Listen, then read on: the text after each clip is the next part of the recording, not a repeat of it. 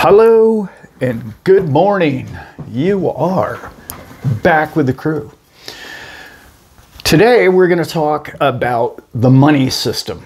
What money means to you, what money is in its creation, and I'm not talking the basics uh, that we talk about all the time. I want to talk about the lifespan of it, the way it's been for the last few hundred years, and the way it's going forward. Those of you who watch this show know that I believe that uh, in many ways a storage of wealth will be one of the storages of wealth will be Bitcoin. One of the major transactions, also a storage of wealth in some degree, and that's a fine line as to describe, describing how that will work. But the XRP being the future of movement of many, if not all, transactions going forward. Today, I want to talk a little bit bigger picture as to how those two are going to interact with each other, number one. Number two, probably more importantly, where we're at right now, fundamentally, globally, not so much geopolitically, because all of the stuff that's going on and firing rockets at each other, that's not really what this show's about. I, I get there's high tension. Everybody's worried about the W3 thing. That's not what this is about. The fundamentals of all of those actions really come down to the economies, the money. What's the digits? What are the digits and how are they valued? Well, that's become in question, really, hasn't it, lately? In the last 10 to 15 years, the growth of cryptocurrency has been mind blowing. Let's remember that it wasn't very long ago that China was trying to do everything they could to ban its citizens from obtaining Bitcoin or crypto in any sense. And then they banned mining. And then now it turns out they're the second largest holder as far as nations go of Bitcoin and other cryptos. Remember, they just launched their, they just approved for Hong Kong not just Bitcoin, Ethereum ETFs. Next, in my opinion, is going to be XRP, and that's coming. And Hong Kong will wrap their head around XRP very quickly. In fact, we already know that HSBC and some other people have been involved. Not what this video is about. This video is I want to go big picture with the value of things. So we've had We've had an era uh, for a very long time now, since 71 basically, but just trust us, we're good for it. Just use the dollar, those digits, they're great. We like them. In fact, if you don't like them or use our system globally, our central banking system, we'll come after you with our armies. Essentially, we've done that forever. I don't know if you've noticed the trend, but as of lately, conflict globally isn't about that anymore. To where it used to be, oh, well, you want to go to a Goldbeck? No, no, no, we need to invade those people. We need to come after them. They've lost the plot. We need to go in there and wise those people up. What's happening now is there's a big shift. And I really, I, I know that BRICS has been going on for many years, since 14, I think I've been following it, 2014. But this bigger than that even. and what I mean is the value of things. Let's let's remember that Larry Fink talks. We're, uh, we're gonna we're gonna exchange the value of things. We're gonna make all things tokenized. We're gonna tokenize the value of everything. Well, what is the value to man of things? Well, labor is pretty important. Okay, that's really important to you and I, particularly if you have a job skill that's really important. So, but let's let's go bigger picture than that. If, if you're going to bring something to a table or a transaction, what are you going to bring? Well, this is what this video is about. You used to bring value in dollars. We know those are diminishing in value because one week they're going to I don't know, cover all the auto workers and cover all their pensions and then all the military pensions and then all the, you know, college students that can't pay their debts. And then we're going to cover, we're going to print more and we're going to just print more for these people. And, you know, we're going to, more foreign aid, which is really, let's call foreign aid what it is. It's a bribe, right? To other governments and, and to keep this Ponzi alive, if you will. Well, what started to happen in particular, the fast track happened right around 2020. And the fast track happened like this. Well, this whole thing happened, everybody got locked up, and then we printed a bunch of stuff, and then we and then the world went, they can't just do that. I can't believe they just did that. Our people had to suffer through that year or two of being locked up and our economy's getting crushed. But everybody in the US was spending like they were mad, drunken sailors. You know, it was like, well, well, wait a minute. How does that work? That didn't look fair to me. That didn't look honest. And that really got and everybody having so much time on their laptop, sitting around, not, not, not much else to do, and figuring a lot of the monetary system out. Brings us to today. Well, many other things have happened in between there, you know, some wars and then the US, you know, shutting other countries through SWIFT system, shutting other banks down, uh, countries down, so they couldn't do banking and globally and whatnot. This leaves us with this dollar debt, global debt behemoth of a mess that has paper written on top of paper on top of paper, and nobody knows what reality is anymore. Okay? Well, oddly enough, things that you and I thought 10, 20 years ago that it wasn't real, which is digital, we were thinking, well, that's not real. You can't hold it in your hand. Well, the digital in which they pursued in the monetary system wasn't real because they just made it out of nowhere and just made a bunch of them to pay off any ridiculous thing that they thought was important to them next. That's going away slowly now. Remember, this is not going to happen tomorrow. This is not a panic video about what's going to happen to your life next week. What this is, is that's why gold is going up. This is why precious metals are going up. This is why Bitcoin will probably only go up from here. Now, I know there's going to be fluctuations of 10, 20, 30, 40%. I get that. I understand that. But the fluctuations used to be 90%, and they're no longer that. Okay? So the world now is saying, well, I understand, even China, right? I, I painted the picture earlier that, hey, they tried to ban it in their country. Now they're actually using in kind accounting in Hong Kong for their ETF, which means, oh, you can give them a Bitcoin and you can receive a Bitcoin or cash and get a Bitcoin 10 years later from them, a real coin, a real digital coin. So they've turned the corner on the value of what a Bitcoin or a cryptocurrency is. Okay? In their case, in Ethereum, and like I said, XRP is coming. That is now real value. What else is real value? Oil. Oil is real, bring it. It's a real value. Everybody needs it, everybody understands it, everybody uses it. Electricity. Can you create a lot of electricity? Yes, we need that. Okay? Precious metals, we need those. People believe in them. The system believes them. Central banking believes them.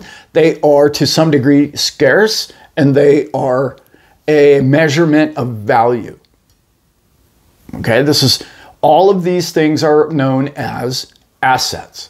So when you see a country like China and Russia go asset based, we're talking about getting back to our fundamentals.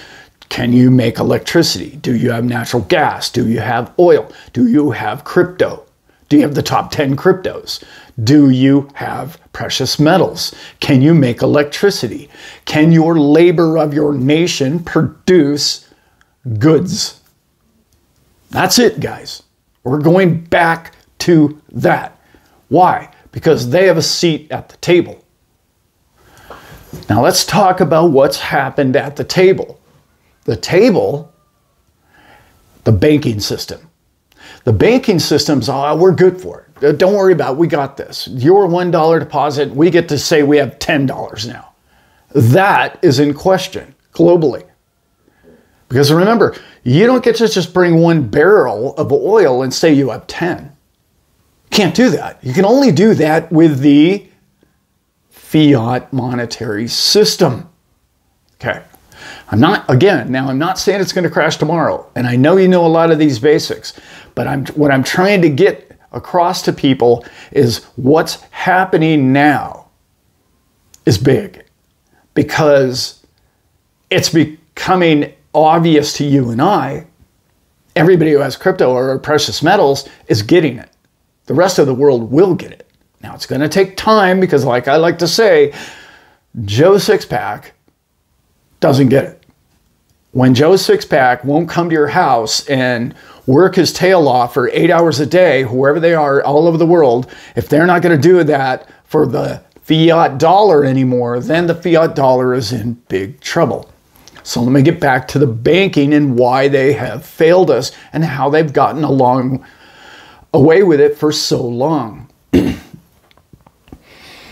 Banks essentially, with this printing system in which they're connected, the Federal Reserves and central banks, get the money virtually for free and then they create it because they loan it out to you because you purchase things and then you become indebted to them and then you pay the interest back and then that interest is actually their income. Okay? So when that system gets exploited, okay, with fractional reserve banking the way it has, all of a sudden numbers get on top of numbers and numbers, and then if everybody paid everybody off, there wouldn't be enough numbers. So they get away with inflation annually because they constantly do this. When you understand the way the banking system works, it's like, oh, well, this bank failed. It's like it's a lot like whack-a-mole. Oh, well, that bank failed you, uh, you know, back Signature Bank and Silicon Valley, when those were failing, all the other banks were looking stronger because, oh, we'll take all those people in. That was those people's mistake. Okay? They have the same fraud going. They have the same Ponzi. That's identical. Neither one of them have all the numbers in which they say they are supposed to have. In particular, your deposits, right? So, when a bank fails, the other banks just get stronger, according to the media and people around you. Well, nation states and governments are figuring that out, clearly. They're like, well, we don't want to play that game anymore. Okay? We know that the whole thing looks shaky and the amount of money that you've printed recently is astronomical that it's beyond our minds to even comprehend how anybody could ever pay any of that back. So if nobody ever has to pay anything back, what is the value of the money? Zero. It could potentially go to zero. So nation states, in particular BRICS, but also many other countries, have decided, well, our people produce, we have natural resources, and we want to get paid for them. We're going back to reality in that sense. Digitally, they're keeping track of all that. That's where XRP comes in. XRP comes in in its transactional speeds and its ability to keep the entire thing straight. Thankfully, it doesn't have a hat in the political ring either side. It's a neutral ground in which everybody can transact take your yuan, put it into XRP, and it comes out a dollar. We can we can live with that. Okay, that's a transactional. Put your Bitcoin at one end, put it into XRP, and have it come out a dollar at the other end. We can all live with that because we trust its decentralization of all players involved. It's gaining and gaining in credibility. Like I said, China started hating cryptocurrencies, and now they're adopting more and more of their ETFs. So let's talk now about their ETFs. How important is this? How important is their precious metals market and their petroleum market? How important is that to everybody? Well, it's damned important, and here's why. They are now the owners, not, I mean, Mexico owns a bunch of them. We're talking about national security now. We're talking about the bond market. Okay, all of these bonds and all these paper bonds that have been put out there so that the Federal Reserve can create more digits. Okay, banks actually create the digits, but bear with me on that. That's a whole nother video. But when they have written this paper and these people hold these paper bonds, they were abused back with the whole Ukraine thing, with Russia lost the six to eight hundred billion dollars worth of the U.S. good, no matter what. This is our our loyalty and our entire nation, and we're backed by the, the security of our country is on these bonds. Well, they failed Russia in that sense. They seized these bonds, they took these bonds over, and they didn't allow them to be what they were a national security. This was a shockwave around the world. I know you guys all know this story. But what happened there was it told countries, well, we got to look for another asset. Well, the problem here's the problem with gold it's got to be dug out of the ground. Okay, we get all that. What's the other problem with it? Well, it's about geography. You got to kind of have the geography to dig it out of the ground. Otherwise, it is kind of pricey to find it and buy tons of it. But it's good. We like it. That's probably, in my opinion, the second best asset. What's the third best asset is the most used asset, which is oil. But it's very difficult to store. You can't store a bulk in it. You can't hold your Federal Reserves Sorry, I got a cat going up and down my lap here. The last time she knocked the camera over, we had to shoot the video twice. But we don't want that. So when you hold your money in bonds, they the country of, uh, who wrote the bond has to be good for the money. We're starting to fail in those categories. So people say to themselves, I've got trillions in China's uh, sense. What am I going to do with these bonds? I've got a trillion and a half dollars worth of US bonds. What am I going to do with these? Oddly, you would ask that because Hong Kong is one of the largest bond trading networks in all the world. Yeah, little known fact. And now you can do what? You can buy a real Bitcoin, not a cash settled, uh, in kind Bitcoin contract that you can settle for a real coin with your printed paper bond from the US. Are you following me now? So all those fake digits are going to be turned into because they ruined the national security strength of them with one nation already so if you owned a trillion and a half dollars of those, and you've recently looked at the crypto market and you've watched it go up three times, four times in value, and the US bonds being wor- worth less and less annually, why would you hold your money in those? When they're liquid enough to buy the number one asset, in my opinion. Remember, I started with number two, in my opinion, I believe is precious metals, and they're buying a ton of it because it's easier for them. They China now controls the precious metals market pricing. I don't know if you knew that. It's no longer in London. And who else controls the oil price now? The Saudis and the Russians, because they got together and they decided, well, you know, the way it's been run before, we don't like the way that whole Brent crude thing has been going. We're going to go ahead and create our own market for it and sell it globally, and therefore they become more substantial in their market and their numbers. So they can make number go up and down the way they want through the distribution because they're two of the top three nations who produce oil. But they can also, who else has a ton of bonds? The Saudis. Does the Saudi want to buy gold? Yeah, they've been buying it forever. Do they want to buy oil? Absolutely not. They're not buying oil, right? Think about it. So, what are they going to do? They're buying cryptos particular right now, they're buying Bitcoin. They're going to be buying all the ETFs and they're not going to be buying them through BlackRock because that's a cash settlement. So now you look at BlackRock and you say, well, that, that there's going to be less demand on the BlackRock and more demand globally from Hong Kong, which is going to force BlackRock to have to go in kind in the future, as I've said in other videos.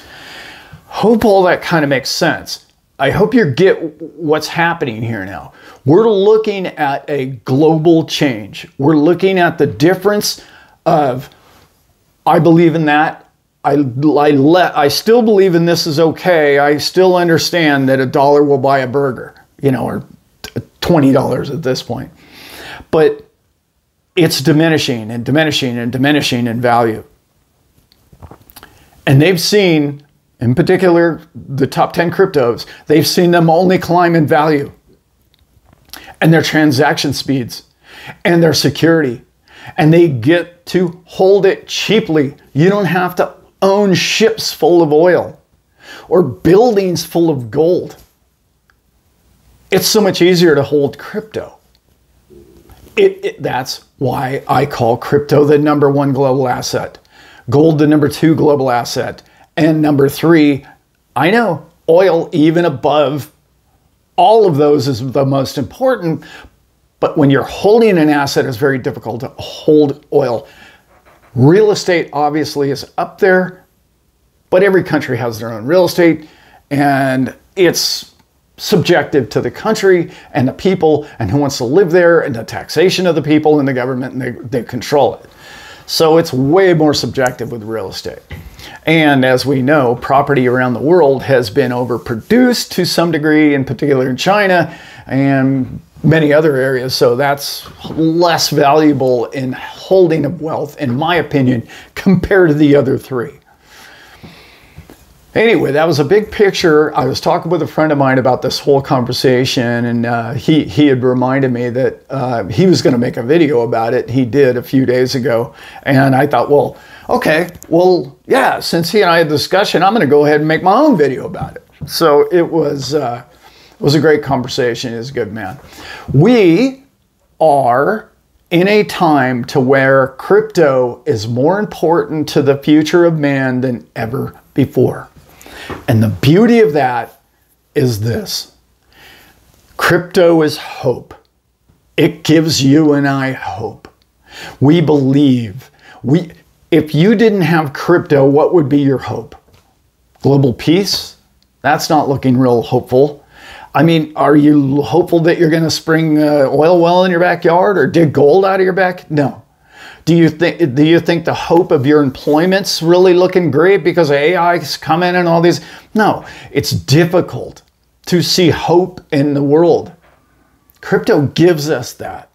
It gives us that connection to the lower class us, middle to lower class people of a shot at a, a seat at the table.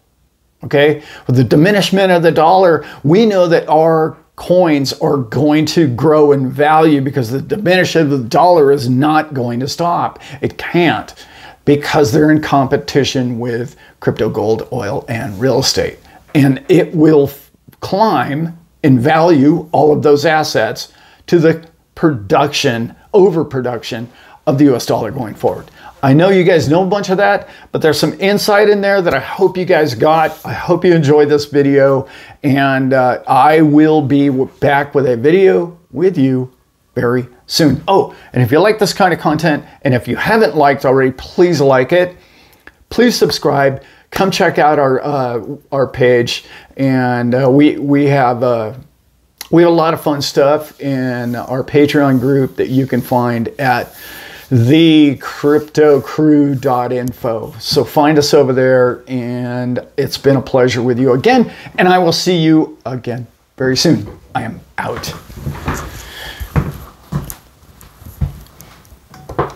So it's come to my attention that people are selling their crypto because they're concerned about the world. I am not here to give financial advice. I'm here to tell you that's the exact opposite play I would make. I heard someone say, well, it looks too volatile in a volatile world, and I have to get out. I have to get out now. And I understand that. I get it. You get panicked. There's fear out there, it's everywhere. Just remember when's the last time fear actually created wealth? That's right. Like never. Love you.